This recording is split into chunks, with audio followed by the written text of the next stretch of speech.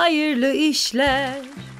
Efendim bugün İstanbul Beylikdüzü'ndeyiz. İstanbul Beylikdüzü'nde kaliteli et deyince Akgüller Kasap geliyor akla.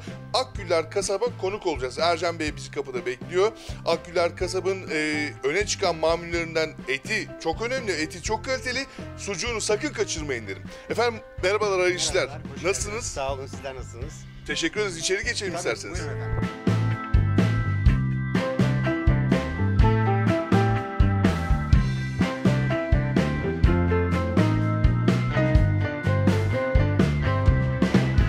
İçerideyiz. Ercan Bey bizi içeriye buyurdu. Akgüller et, reyonlarda etler, her çeşit et var burada.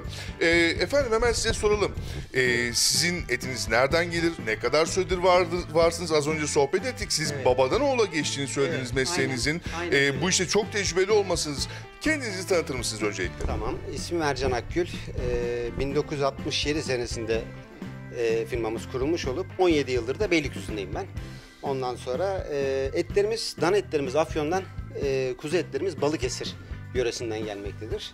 Bunları haftanın iki günü dükkanımızda taze olarak bulunduruyoruz. Bazı ürünlerimizi de dinlendirerek satışa sunuyoruz. Onun haricinde kendi yaptığımız ürünlerden sucuğumuz var. Ee, bunu hemen hemen haftanın her günü yapıyoruz, taze taze yapıyoruz. Onun haricinde babadan oğula dediğiniz gibi yani biz bu işte çekirdekten yetiştiğimiz için babadan oğula ömrümüz vefa ettiği sürece biz bunu devam ettireceğiz. Beylikdüzü e, kasap kurmak açısından, kasap olmak açısından nasıl bir yerdir? Lokasyonu nasıldır? Vallahi şöyle söyleyeyim, Beylikdüzü'nün ben ilk gelenlerinden diyebilirim hemen hemen buraya. Yani 17 yıl Beylikdüzü için ciddi bir yıl. Tabii bunun yani aşağı yukarı Beylikdüzü 25 senelik bir yer ama bu 17 yıl içerisinde biz buraya ilk geldiğimizde şöyle söyleyeyim, telefon yoktu. Normal cep telefonu vardı, normal hattı telefon yoktu. Ee, Beylikdüzü tabii son 10 sene içerisinde özellikle hem kendini e, hem daha e, İstanbul'un gözde yerlerinden biri oldu diyebilirim.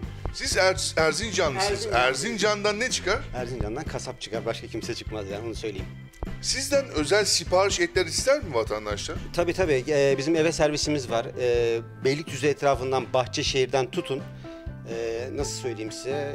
Yani 8-10 kilometre alanı, çevremizde olduğumuz yerden 10 kilometre alanı devamlı bir servis e, ağımız bulunmaktadır. Evlere servisimiz yapılmaktadır. Siz az önce belirttiniz, e, ta Çin'den size sipariş vermişler. Evet, e, bazı müşterilerim var. Orada biraz yemek sıkıntısı olduğu için e, özellikle sucuk e, bayağı bir 10-15 kangal civarı bunları vakumlayıp e, artık buradan oraya herhalde uçakla gittikleri için onları e, nasıl yaptıklarını bilmiyorum ama buradan oraya sucuğumuz gidiyor yani onu da söyleyeyim yani. Ba- Bazı müşterilerim var orada bir şey yemedikleri için diyorlar yani sucuğu buradan alıp götürüyorlar. O da bizim için diyoruz yani en azından e, bunlar bile bir artı oluyor bizim için yani. Son olarak size şunu sorayım. E, siz bu işin artık tecrübeli e, kasabısınız yani bu işi yıllardır yapıyorsunuz. Kaliteli et nasıl belli olur? Vallahi kaliteli et eee, şöyle söyleyeyim işte bu demin söylediğim şuydu. Babadan bu işi öğrendiğimiz için artık biz böyle etin eee, ne kadarlık olduğunu, nasıl olduğunu yani hayvanın lezzetinin olup olmadığını artık o eti kesildikten sonra kesim esnasındayken biz bunları artık çözebiliyoruz. Yani bu da bizim bir tecrübemiz olmuş oluyor. Ama dediğim gibi Ette eğer biraz lezzet arayacaksak etin biraz yağlı olması lazım. Bu bir gerçek yani. Yağsız et biraz böyle e, saman gibi diyelim.